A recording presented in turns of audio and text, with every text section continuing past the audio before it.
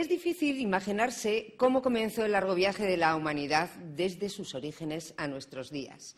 La clave se oculta en lugares tan remotos como las cimas de nuestra cercana Atapuerca o la remota garganta del Olduvai.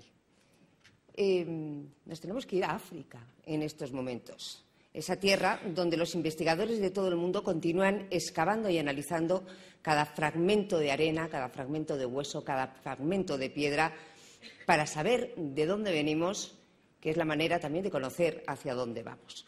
Uno de estos científicos entusiasmados por averiguar cómo eran nuestros antepasados es Manuel Domínguez Rodrigo, profesor de prehistoria de la Universidad Complutense de Madrid, que junto con su equipo lleva 20 años empeñado en descubrir el origen del ser humano.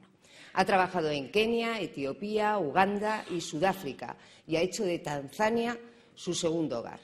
Manuel Domínguez Rodrigo ha tenido el privilegio de dirigir el primer equipo de investigadores íntegramente español que estudia nuestros orígenes en el continente donde el ser humano vio la luz por primera vez.